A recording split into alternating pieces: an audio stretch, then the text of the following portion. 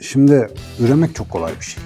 Doğum, ölüm hakikatle ilgili değiştirilemeyen ve bizi ilgilendiren bir gerçeklik havuzu ya. Eğer çocuğun olmazsa hakikattaki bir ayağın zayıf kalıyor gerçekten. Ya bu devirde ya da bu ortamda ya da bu şehirde ya da bu zamanda ya da bu ekonomide çocuk yapılmamalı mı, yapılmamalı mı anlamak için bizi dinliyorsan ya da bu konuyu araştırıyorsan manipüle oluyorsun sevgili kardeşim. bu konunun özü şu. Ben çocuk yapmazsam hayatımda, bir aile kurmazsam 30 sene sonra nasıl hissederim? Dünyada hani bir sürü teknolojik değişimden vesaireden falan bahsediyoruz. Bir yandan da aslında teknolojinin de dışında başka parametreler de değişiyor alışkanlıklar açısından. Mesela dünya yaşlanıyor belirgin bir şekilde ve çocuk doğum oranları dünyanın genelinde de ve Türkiye'de de yani içinde olduğumuz ülkede de belirgin oranda düşüyor. Yani biz ilk defa şu anda büyüyen toplum standartlarının birazcık daha dışına çıkıyormuşuz gibi görünüyor sayılar açısından. Bizim alışkın olduğumuz bir dil vardır. Türkiye genç bir ülkedir, çoluk çocuğu çoktur bilmem ne. Aslında aslında geçtiğimiz 5 sene içerisinde çok öyle değil. Önümüzdeki 10 sene içerisinde de hiç öyle olmayacakmış gibi de görünüyor. 30 küsürlü yaş ortalamalarına gelmişiz. O kadar da genç değiliz ve yeni gelen çocuk sayısında da bir düşme var. Bu arada dünyanın genelinde de var. Yani ne tabii kadar gelişmiş ülkelerde başta olmak üzere. Başta olmak üzere falan tabii yani Afrika'da ve yani dünyanın daha tarım ekonomisine bağlı olan yapılarında o kadar düşmüyor ama kentleşmenin yükseldiği yerlerin hemen hepsinde çocuk düşüyor. Çocuk yapması, motivasyonu düşüyor öyle diyelim. Bunun bir yerinden sağlıklı bir şekilde bunun biyolojik bir zemini olduğunu biliyorum. Evrimsel bir bakış açısı olduğunu biliyorum. Sosyolojik etkilerinin olduğunu ya da biçimlendiğini biliyorum. Burada ola gelen bir çocuksuz yetişkinler diye bir olgu var ve olgu olmaya da devam edecekmiş gibi görünüyor. Bu bir yerinden bakarsan çok normal, bir yerinden bakarsan çok tuhaf görünüyor. Sanki yetişkin olmanın doğal akışında bize modernist dönemden öyle bir bilgi öğretildi ya yani. Askere gidersin, işini bulursun, evlenirsin, çocuk yaparsın, bir tane daha yaparsın. Kültürüne göre bir, bir falan daha eklersin. Sonra da emekli olursun falan falan. Yani oraların hepsinin bir beklenti havuzu var. Bir adam gelip de burada yo çocuk yap evleniriz de olabilir ya da işte hani uzun süredir bir ilişkim var ama biz çocuk yapmayı planlamıyoruz dediğinde birden o, oraya şey giriyor böyle. Hani biri balyozla vuruyormuş gibi falan zincir bozuluyormuş gibi bir etki oluşuyor. Bir yandan da biz hala bu kadar da tuhafız yani yani bu anlattığımız hikaye eski ola gelen yeni şeklindeki bir çatışma yaşıyoruz. Bunun motivasyonu nedir? Niye böyle oluyor? Ne oluyor da oluyor hocam? Şimdi üremek çok kolay bir şey. Ee, mesela doğum kontrolü hatta kürtaj mürtaj gibi ara müdahalelere insanların çok fazla başvurmasının nedeni bunun çok kolay bir şey olması. Mesela özellikle biyolojik yani bu e, eşeyli üreyen biyolojik varlıkların tamamında, canlıların tamamında bu zaten milyonlarca, milyarlarca yıldır ola geliyor. Biz de bunu milyonlarca yıldır yapıyoruz. İnsanlar olarak yüz binlerce yıldır yapıyoruz. Ve mesela ortam şartları daraldığında, şartlar zorlaştığında üreme hızı kendinden otomatik artıyor. Bir nevi bir savunma mekanizması. Bunu canlılar bilinçli yapmıyorlar. Sadece ortam şartları. Bir ara Ordundar Güneydoğu'da bir 14-15 çocuğu olan bir adamla röportaj yapıyor. Nasıl yaptınız bu kadar çocuğu diyor. Kışın diyor yollar kapanıyor yapacak bir şey yok diyor. Ne yapalım falan. Öyle de bir açıklama yapıyordu mesela. Yani default olarak kolay yapabildiğimiz bir şey. Şimdi mesela modern dünyada özellikle maddi açıdan refaha daha yakın, daha müreffeh ülkelerde neden ilk gördüğümüz fenomenlerden bir tanesi pat diye işte bu üreme oranının düşmesi. Avrupa bas bas bağırıyor. Her gittiğimde ana sorun bu. Yaşlanıyor nüfus bilmem ne. Şimdi Cumhurbaşkanımız başbakanken devamlı üç çocuk falan dediğinde çok bazı kesimlerde dalga konusu olmuştu. Şimdi diyorlar lan yapsak mı acaba falan öyle bir durum oluşmaya başladı. Artık ama işten geçti çünkü bizim bulunduğumuz segment itibariyle biz de aynı demografik kaymayı yaşıyoruz. Şimdi biyolojik olarak bu kadar kolay ve doğal olan bir şeyi. Ben mesela seni niye ikna edemiyorum biliyor musun? Mesela bunu daha önce sana söylemedim. Ben bu arada Mustafa'yı çok ikna etmeye çalışıyorum. Üremen lazım. Sen hani kültürel olarak iyi çocuk yaparsın, o çocuğa iyi bir şey verirsin diye bir inancım var. O yüzden böyle hani dünya ile ilgili parlak fikirleri ya da yüksek çözünürlükte Seda'yı yaşam... darlıyordu benden gibi. Tabii tabii. yüksek çözünürlükte yaşamları olanların üremesi gerektiğini hala savunuyorum. E ama üremek bu kadar kolay bir şeyken, yani eşyanın tabiatının doğal bir sonucuyken, bugün neden böyle bir fenomen var? Çok basit bir nedeni var bunun. Bu doğal itki ve arzu tartışılmaz bir şekilde orada dururken buna engel olmamıza neden olacak bir takım endişeler var. Ve bu endişeler Aynen insanın fabrika ayarları için söylediğim gibi şehirli insanların ürettiği, onun kültürünün ürünü olan endişeler.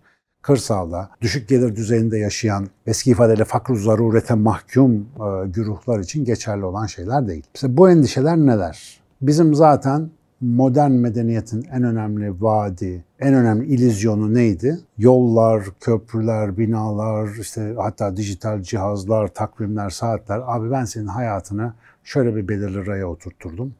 Geleceksin, çalışacaksın, çalıştığın kadar kazanacaksın, işte zenginleşeceksin, katman katman çıkacaksın işte falan filan. Öngörülebilir bir hayatın olduğu bir e, durumda ancak böyle bir şehir medeniyeti bilmem ne kurabilirsin. Orada ekonomik kar üretebilirsin, projeksiyon, strateji falan filan. Ama öngörülemezliğin olduğu her yer senin için problemdir. Ve çocuk da öngörülemezliğin dibidir. Şimdi üç çocuk babası olarak söyleyeyim. Biz aynı anne babadan doğmuş üç tane çocuğun aynı anne babadan doğduğuna kendimizi inandırmakta zorlanıyoruz. O kadar farklı tipler çıktı ortaya. Şimdi biri 24 yaşında, biri 20 yaşında, biri 18 yaşında. Bambaşka insanlar ve şey oluyor. Senin ufak kız 18 oldu değil mi ya? Ya neler oluyor hayatta. Ve yani mesela diyorlar ya işte küçüklüğü çok zordu işte büyüyünce biraz daha rahatlarsınız. Biraz büyüyor ah bunların küçüklüğünü çok özledim falan diye. Abi her dönem benzersiz. Hiçbir dönemde öyle yan gelip yatma gibi bir lüksün yok. Yani çocukların 50, 60, 70 yaşına da gelse hala hayattaysan onlar senin hayatında çok önemli belirleyiciler.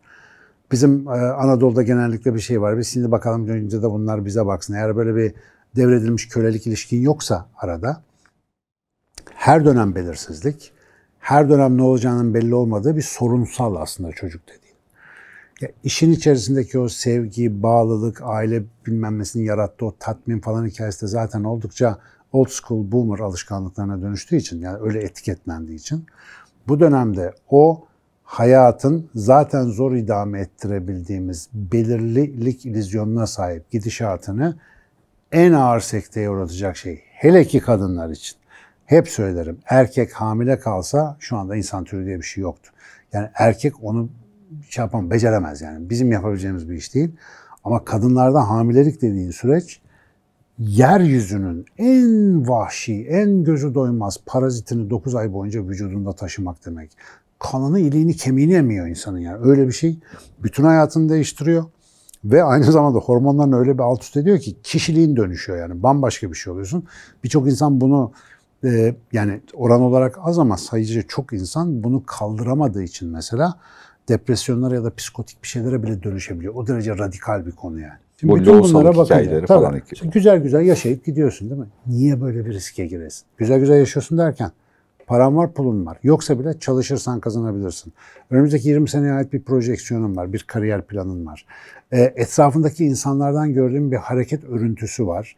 Ve o örüntüler içerisinde genellikle e, çok hoş olmayan örüntüler var. Bir de aynı güzel örüntüler var.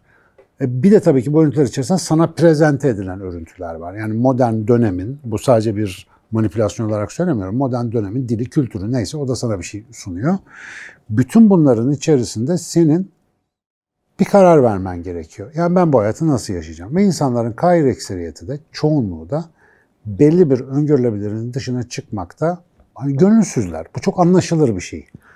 Bir de işin içerisine idealden uzak bir yetişme ortamı. Çocukluğundan gelen bir çocuk nasıl yetişirle ilgili anılarının idealden uzak olması. Ya bunu demişken benim biraz ağzım kurudu abicim. Şöyle bir... Oh! bir de çocukluk döneminde diyordum. Hani iyi olmayan anılar biriktirdiyse bir insan bu konuda. Etrafından duyduğu, gördüğü örnekler daha ziyade tek taraflı ya da böyle biraz taraflı örneklerse bunlarla ilgili karar alma mekanizmasının hepsini etkiliyor. Yani şunu söylemeye çalışıyorum. Biyolojik olarak şu anda yani tekrar biyolojik ve psikolojik konuştuğumu söyleyeyim. Kültürel olarak gene buradan sopa yiyebilirim keserlerse burayı o yüzden lafı kalabalığa getirmeye çalışıyorum kesmesi zor olsun diye. Bir insanın yeme isteğinin bu kadar doğal olmasına rağmen anoreksik olması var ya o yememe hastalığı var ya yediğini kusma hastalığı. Bugünkü e, çocuksuz yetişkinlik ha, yaygınlığı biraz oldu. buna benziyor. Güzel tarif Tabii, oldu. Bir endişe sana da uzun süredir söylemedi yani sana hiç söylemedim dediğim kısmı burası. Bu endişe anlaşılabilir bir endişedir anoreksiya gibi patolojik bir şey demektir diye kastetmiyorum ama bireysel olarak patolojik olmasa da toplum açısından çok ciddi bir problemdir. Çünkü bir topluluk adı üstünde insanlarla ayakta kalır. Ve bugün Avrupa niye bağırıyor genç nüfusum yok diye. Ne güzel akıllı uslu bir sürü insan var. Sokakta gürültü yapmıyorlar, altlarını pisletmiyor. Yani çok yaşlanmazlarsa altlarını pisletmiyorlar falan. Niye çocuk, niye genç, niye genç nüfus isteniyor? Abi yaşlı insanın hayata katabileceği verim düşük ve onları hayatta tutabilmek için çok sayıda gencin çalışması gerektiğinden işte sosyal e, destek mekanizmaları falan çalışmıyor artık. Felç oluyorsun. Oradaki hikaye mesela bana bende de şöyle okunuyor. Kabilesinin içerisinde kendini kabilesine vakfeden ruh hali, biz hala kültür olarak bu ruh halini çok kullanıyoruz. Kendisini kabilesine vakfetme.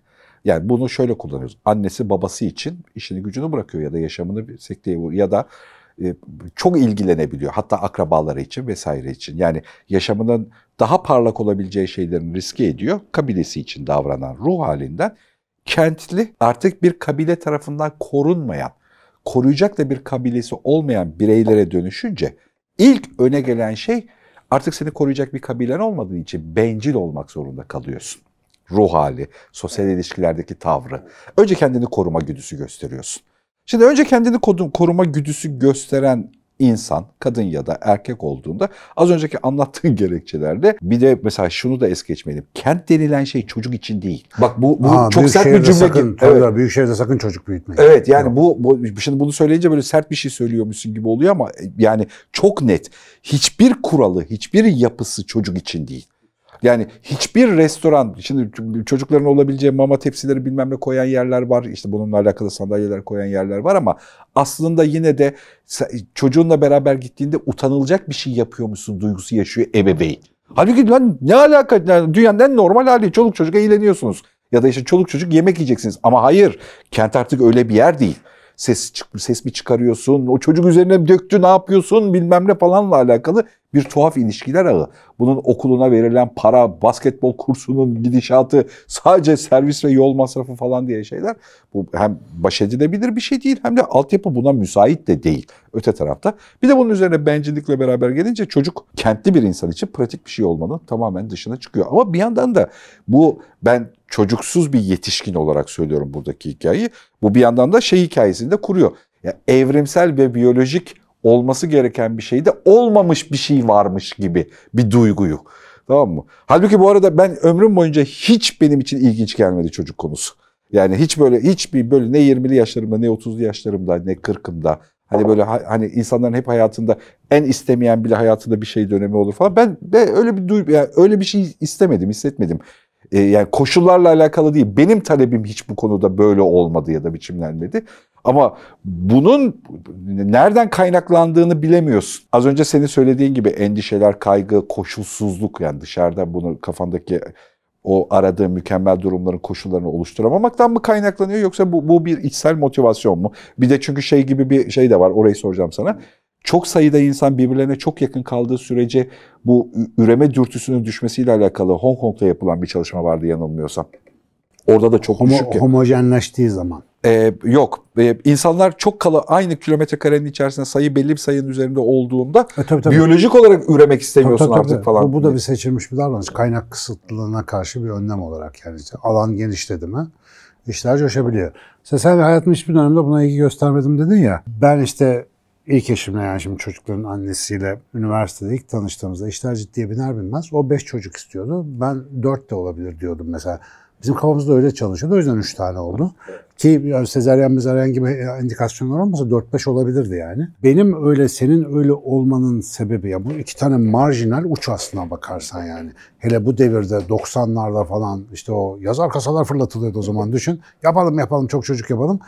Yani benim kafa nasıl bakacak hallederiz. Bu arada Senin... sen de kentlisin, ben de kentliyim. Evet. Hani aslında orada da Bunu bir... oluşturan şey işte. Abi o kültürel hikayeler bizim için o kadar etkileyici ki. Ve o kültürel hikayelerin aslında bizim üzerimize etkisini çok iyi anlayamadığımız gibi sosyal dokuda da o kültürel hikayelerle nasıl manipülasyon yapıldığını anlayamıyoruz. Şimdi sağlıklı konuşabildiğimiz konu başlıkları değil bunlar. Yani çocuk yapın ya da yapmayın dediğinde aslında bir siyasi pozisyon oluyorsun. Öyle 4-5 cinsiyet olmaz. Ya siyasette oğlum. buraya da girmeyi versin. Bunu biyolojiden konuşuyoruz. Yani bu Hayır hayır. Ya... Toplumda konuşurken diyorum biz biyolojiden konuşacağız ama bunu öyle duymayacaklar. Mesela cinsiyet aslında iki tane vardır. Arada bir şeyler olur ama zannettiğiniz gibi queer, free, for da bilmem ne değildir o iş diye anda konuşamazsın bunu. Çünkü onlar artık bir politik pozisyon. Ama bu politik pozisyonların ve işte sonradan nevzuhur edilmiş bazı fikirlerin toplumda ana akım davranış biçimini zorlayacak kodlara dönüşmesi uzun vadede gerçekten insan türü için problematik. Çünkü insanın fabrika ayarları mantığıyla bakarsan bizim milyonlarca yıllık biyolojik donanım ve zihinsel altyapı belli bir ritim koşul dengesi içerisinde yaşamaya alışık. Sen bugün ürettiğin kavram sana çok havalı gelebilir. Ama o kavramın ekosistem içerisindeki telmihlerini izlemiyorsan o gelir affedersin döner sana bir tek batar anca o zaman fark edersin ya da fark etmeyebilirsin. Biz niye ölüyoruz abi olursun.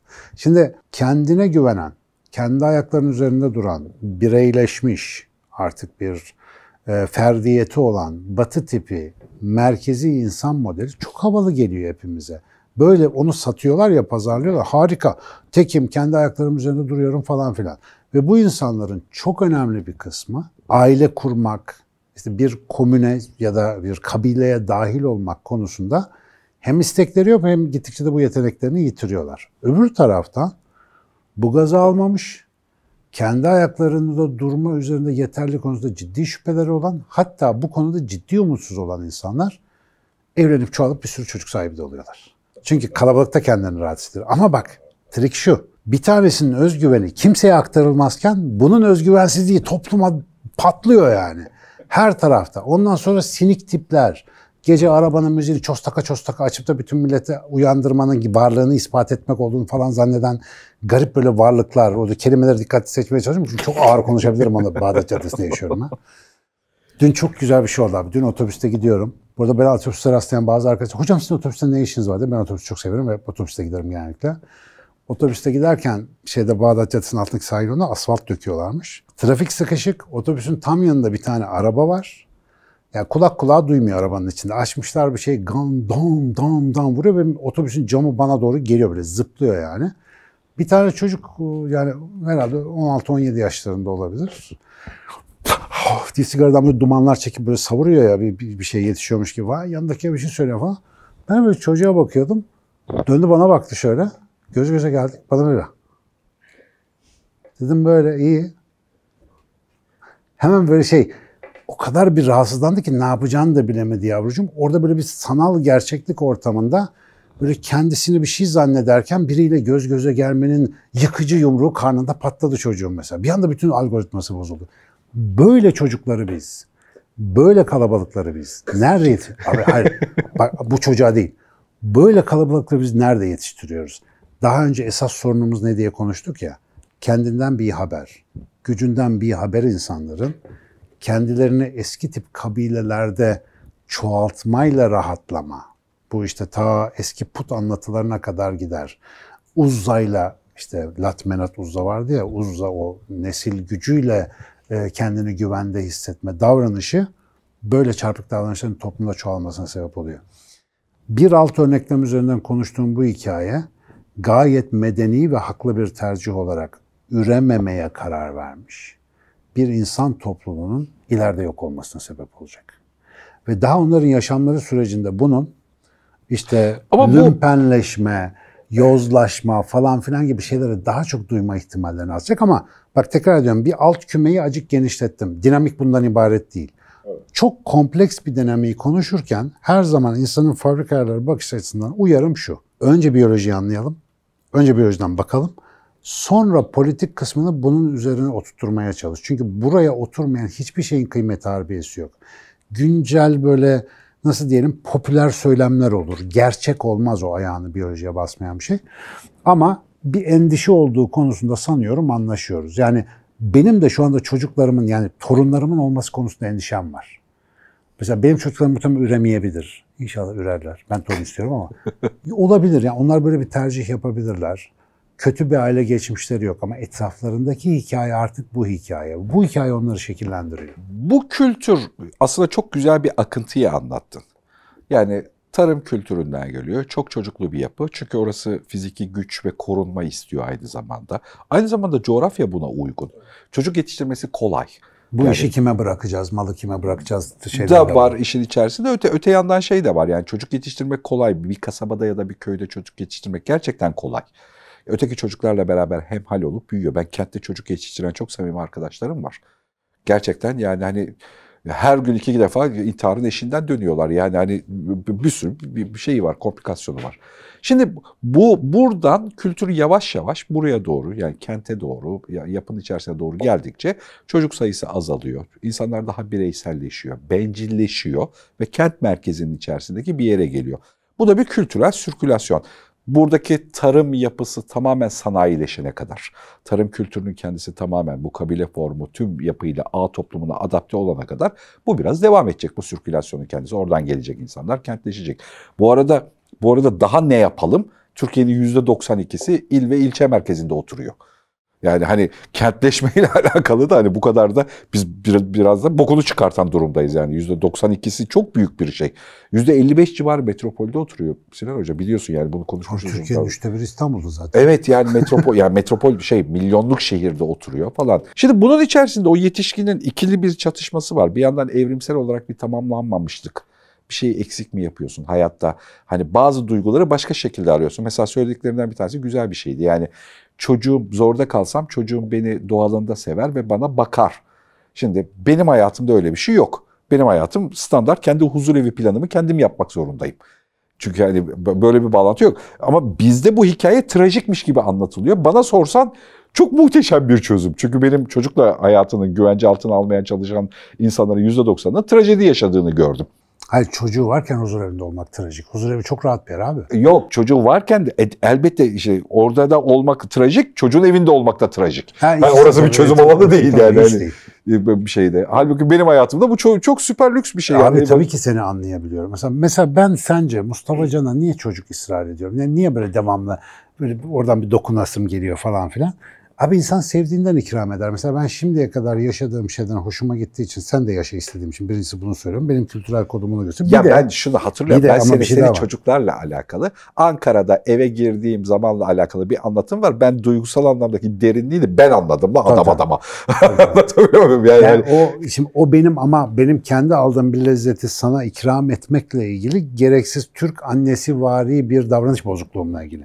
Ama esas rasyonelini kuracak olursam, akli bir nedene dayayacak olsam, bir insanın biyolojik dürtülerini, arzularını, işte milyonlarca yıldan gelen ayarlarını her türlü manipüle edebildiği bir devirde ömrünün ahirinde yani buradan giderken son dakikaları oynarken pişman olduğu şeylerin kahir ekseriyeti bu ayar manipülasyonlarıyla ilgili. Ve yani geri dönüp de onları andu yapma şansı yok ya.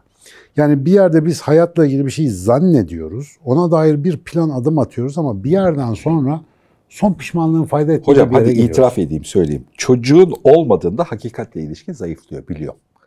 Ha işte onu anlatmaya tamam. çalışıyorum. Biliyorum onu yani, anlatmak istediğim şey Ama sen mesela evet. sen muhtemelen çocuk yapmayacaksın hatta yapmadı ama bunu benim konuşma ya da birilerinin bunu devamlı dünyada gündem etmesinin bir nedeni var. Sen onu kotarabilirsin bireysel olarak ama insanların çoğu bunun altından kalkamayacaklar. Çoğumuz biyolojimizi e, sürecek kadar iyi sürücüler değiliz. Ona hakim olacak kadar iradesi, kudreti yüksek insanlar değiliz. Dolayısıyla biz bugün lay lay lom yaparken tatlı tatlı yemenin acı acı sonuçları olabileceğini düşünemiyoruz. Ve bugünün tatlılığı biliyorsun insan acil ödülü gelecekteki ödüle tercih ediyor. Gelecekte acı çekse de şimdiki ödüle okey diyor. Yani yeter ki ben şimdi tad alayım diyor. Ama uzun vadeli düşündüğümüzde biraz düşünebilirsek ya ben bugün bunları yiyorum ama dedik ya daha önce pişmanlık ileri doğru çalışan bir duygudur diye. Buna baktığımızda ya bir tane hayat yaşıyoruz ve tümel olmasıyla ilgili geri alınamayacak bir hata yapıyorsak onu düzeltmek için bir burası, yöntem olabilir. Yani burası yeni kültürler. Yani ne demek istediğin bende mesela şöyle bir karşılığı var. Bunu anladım. Doğum, ölüm, hakikatle ilgili değiştirilemeyen ve bizi ilgilendiren bir gerçeklik havuzu ya. Yani e, bir şeydi. E, eğer çocuğun olmazsa hakikatteki bir ayağın zayıf kalıyor gerçekten. Yani yaşamın senin üzerindeki hegemonik gücünü anlayamaya ya da daha zayıf anlayabiliyorsun. Öteki tarafa kente baktığında her şey stratejik planda böyle yaparsak böyle yapılırmış gibi zannettiğin bir havuzun içine gidiyorsun. Halbuki hayat öyle bir şey değil. Hayat seni bir çırpılıyor. O hayat bambaşkaymış. Hani 50 yaşın tecrübesiyle öğreniyorsun ama bir kentliyken bu daha uzak olduğun bir kavram. Ama çocuk varsa öyle değil. Çocuk söylediğin gibi yani bin bir sürprizi birden havai fişek gibi elinde patlatabiliyor. Pozitif ve negatif. Ve hani buradan oluşabilecek sonuçlar seni en azından mesela benim benim çok samimi arkadaşlarım, baba olan samimi arkadaşlarım hepsindeki ve bende olmayan korkuyu yaratabiliyor. Onu kaybetme kaybettiğinde çok yanacağı bir korkusu var. Benim o kadar yok. Yani hani o duygu içerisinde hissettiğim ya da oranı daha düşük bir şeydi. O duyguyu şeyi anlayabiliyorum ama şunu da eklemek istiyorum hikayeye. Yaşlanınca ev arkadaşı olmak zorunda kalan yaşlılar kültürü gelişebilir. Bu yeni bir kültür olabilir bir şey. Zaten olacak tabii tabii. Ha ya 60'ından ya bu da bir kültür, bu da bir duygusal bir havuz. Bu da oradan öze, öznel hikayeler gelişebilir. Yani yaşlandıkları için e, ev arkadaşı olmak zorunda olan insanlar. Bucket list yapalım falan diye. evet yani hani hani 20'li yaşlarda öğrenciyken yaşadığı hikayeyi tekrar 60'ından sonra yaşamak zorunda olan insanlar olabilir. Bilmiyorum bunu şimdi sen de sohbet Olacak. aklıma. Yine daha evvel konuştuğumuz o gündem konusuyla alakalı da bir bağlantı geldi aklıma. Gene mesela bu konuda ya bu devirde ya da bu ortamda ya da bu şehirde ya da bu zamanda ya da bu ekonomide çocuk yapılmamalı mı yapılmamalı mıyı anlamak için bizi dinliyorsan ya da bu konuyu araştırıyorsan manipüle oluyorsun sevgili kardeşim. bu konunun özü şu. Ben çocuk yapmazsam hayatımda bir aile kurmazsam 30 sene sonra nasıl hissederim? Bu benim sorunum. Bir başkasının sorunu değil. Ortada opsiyonlar var. Hiç yapmayabilirsin. Bak şehirli insanın böyle bir özgürlüğü var. Kendi bireysel yaşamını sürdürebilirsin bilmem. Ama bir bak. Çünkü kültürel kod sana dedim ya sen e, Müslüman ateist olabilirsin en fazla. O kültürde yetiştiğin zaman o kodu atamıyorsun yani. O kod orada bir yerde duruyor. Yarın bir gün e, işte ne bileyim 70-80 yaşında bir köşede otururken lan yapaydık iyiydi ya deyince olmuyor iş. Kötü, mutsuz bitiyor ve bir şey biliyorsun mutsuz biterse yaşanan mutlu birçok şey de e, seninle beraber gelmiyor yani o aklına gelmiyor o anda. O dişin ağrıyorsa her şey diş ağrısından ibaret oluyor gibi. Bireysel bir mesele olduğunu galiba hatırlamak lazım. Ben canım çocuk istiyorsa yapayım abi yapayım. Yani bana imkan versin devlet. Ha yapalım güzel. Ama birisi de istemiyorsa o da yapmasın. Ona da özgürlüğü verelim. Ama bu lazım ya da bu lazım fetvasıyla yapılacak bir iş değil. Bir insanın Kesinlikle, gerçekten öz kesinlikle. farkındalığıyla eğilmesi gereken çok ciddi bir mesele bu arada. Çok ciddi. Yani ben muhtemelen bu işi sırf moda olduğu için mesela yapmasaydım, benim çocuklarım olmasaydı çünkü çok pis bir herif olabilirdim yani. Bambaşka bir şey olabilirdim çünkü çocuklarım bana her gün bir şey öğretiyorlar. Belki de sen ya benimle çok erkenden konuşup ulan herif haklı ben biyolojik olarak üremem lazım diye çocuk yapsaydın belki şu anda ne bu program vardı ne sen bugün yaptığın işler yapıyordun. Yani herkes kendisine yakışına giymeli abi. Yakışını giyeceksin. Bence olay bu.